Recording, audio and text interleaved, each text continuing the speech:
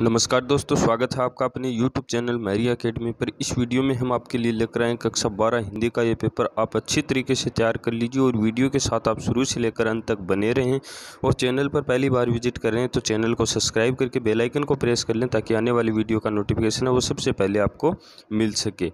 अब वीडियो शुरू करते हैं तो खंड ए के अंदर जो पहला क्वेश्चन दे रखा है, वो हमें बहुविकल्पीय क्वेश्चन दे रखे हैं तो उसका आंसर हमें कोष्टक में देना है। यहाँ पर हम पहला क्वेश्चन देखें तो निम्नलिखित में से किसकी लिपि देवना, देवनागरी नहीं है। लिपि बतानी है, देवनागरी जिसकी लिपि नहीं है। नेपाली, हिंदी, पंजाबी और संस्कृत। फिर क्वेश्चन नंबर दो, हमें दे रखा सीमित क्षेत्र में बोली जाने वाली भाषा के स्थानीय रूप को कहते हैं। तो सीमित क्षेत्र में बोली जाने वाली भाषा के स्थानीय रूप को क्या कहते हैं? राजभाषा, राष्ट्रभाषा या उपभाषा या संपर्क भाषा? फिर तीन नंबर क्वेश्चन दे रखा निम्नलिखित में से किस अलंकार में समता दर्शाई जाती है? यमक श्लेष रूपक और उपमा। फिर नेक्स्ट क्वेश्चन की बात करें तो चार नंबर जो हमें क्वेश्चन दे रखा है, यहाँ पर कनक कनक, ते सो गुनी, मादकता अधिकाय, या खाए बेराय, जग वा पाए बेराय। इसमें अलंकार बताना है, कौन सा है? यमक है, अनुप्रास है, श्लेष है, या उपमा है। फिर पाँच नंबर क्वेश्चन है जिस शब्द का हिंदी अर्थ हमें बताना है, शब्द को शोध प्रबंध, शोध कार्य या उपयुक्त सभी। फिर है विजिलेंस शब्द का हिंदी अर्थ क्या है? सतर्कता, सुरक्षा, सावधानी या निगरानी।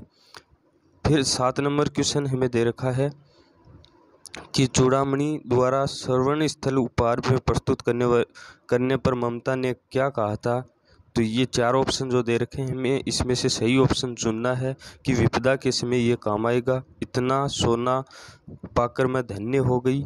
तो क्या आपने मलेश का उत्कोक स्वीकार कर लिया? इस श्रवण को रखने के लिए मेरे पास स्थान नहीं है। तो इनमें से कौन सी बात कही, वो आपको बतानी है। आठ नंबर क्वेश्चन दे रखा है, तुलसीदास की भक्ति मानी जाती है। सखा भाव की, माधुर्य भाव की, दास्य भाव की या कांता भाव की?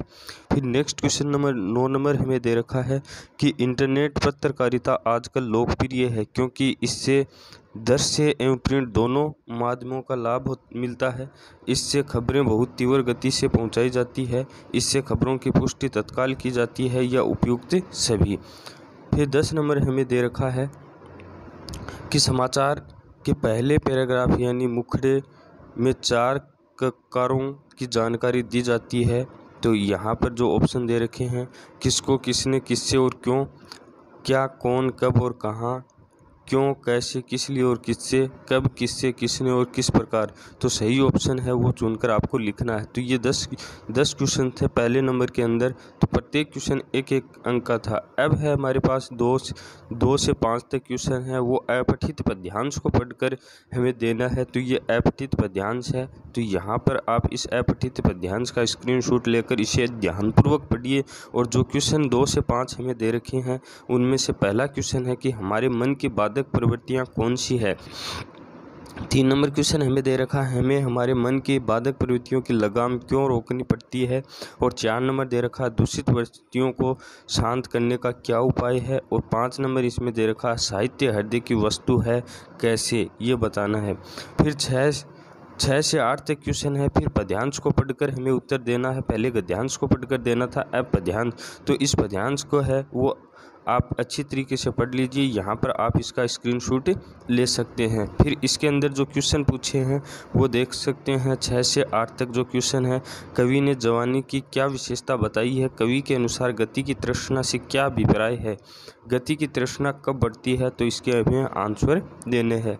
फिर नेक्स्ट क्वेश्चन है, रिक्त स्थानों की पूर्ति करनी है। नौ से ग्यारह तक क्वेश्चन हमें दे रखे हैं। पहला क्वेश्चन है, जाग जागरूक की जे खालिस्तान है, हार चुके सोने वाले। दस नंबर, समाचार लेखन में खालिस्तान महत्वपूर्ण होता है। ग्यारह नंबर है, समाचार लेखन खालिस्तान शैली में क्लाइमेक्स बिल्कुल आखिर में आता है। तो यहाँ पर आपको ये खालिस्तान दे रखे रिक्सतान दे रखे, इनकी पूर्ति करनी है।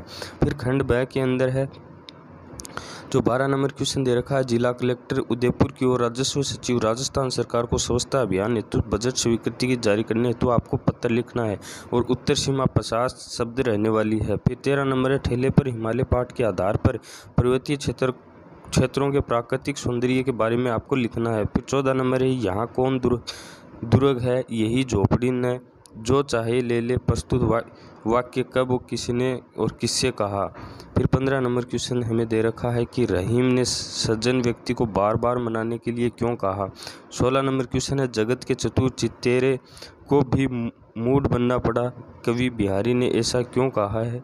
और सत्रह नंबर क्वेश्चन है, हट जा जीने जोगिए, हट जा कर्मा बालिए, हट जा पुता प्यारिए, बच जा लंबी उभार वालिए। प्रस्तुत शब्द में कौन और क्यों कह रहा है, ये आपको बताना है।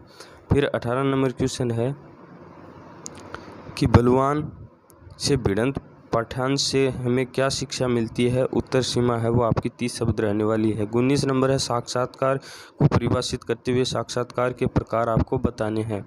फिर बीस नंबर क्वेश्चन है, हमें दे रखा खंड छः के अंदर। चार नंबर का ये क्वेश्चन है, रिपोर्ट तार्ज एवं यात्रा वृत्तांत के अंतर को स्पष्ट करना है आपको। इसी के अथवा हमें दे रखा है, रिपोर्ट और रिपोर्ट ताज के अंतर के उदाहरण सहित आपको स्पष्ट करना है। फिर इक्कीस नंबर क्वेश्चन है, डायरी लेखन को स्पष्ट करते हुए इसके महत्व को आपको समझाना है। खेल पत्रकारिता पर एक टिप्पणी आपको लिखनी है।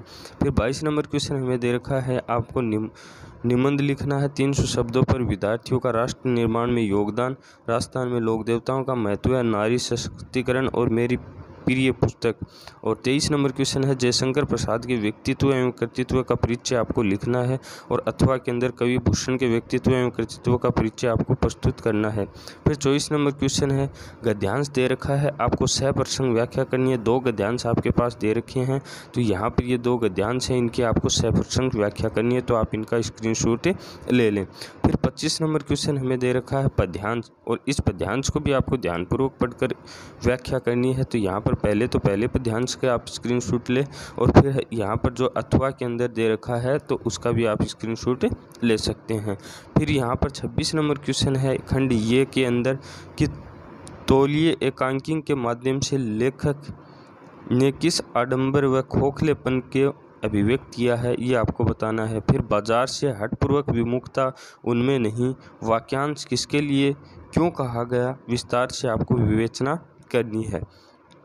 और इसी के अर्थ हमें दे रखा भय के साध्य और असाध्य दोनों रूपों का आपको सो समझाना है। फिर सत्ताईस नंबर क्वेश्चन हमें दे रखा है कि बिहारी के पठित दोहों के आधार पर उनकी नीति व भक्ति को आपको समझाना है और अथवा के अंदर हमें दे रखा है, शमशेर बहादुर सिंह की उत्साह कविता का प्राकृतिक वर्णन अपने शब्दों में करना और पठित अंश के आधार पर सिद्ध कीजिए कि भूषण वीर रथ के कवि थे, तीन क्वेश्चन दे रखे हैं और यहाँ पर आपको एक क्वेश्चन करना अट्ठाईस का क्वेश्चन हमें दे रखा है कि देव नारायणी एवं महाराज सूरजमल के सामाजिक एवं धार्मिक महत्व को आपको लिखना अथवा में दे रखा महादेवी वर्मा द्वारा रचित गोरा रेखा चित्र की विशेषताओं का आपको वर्णन करना है और इसी के अथवा में आपको दे रखा है कि खाद्य का जन्म पाठ्यांश का सार अपने शब्दों में लिखकर प्रस्तुत आपको करना है। तो ये आपका पेपर था, इसे आप अच्छी तरीके से तैयार कर लीजिए।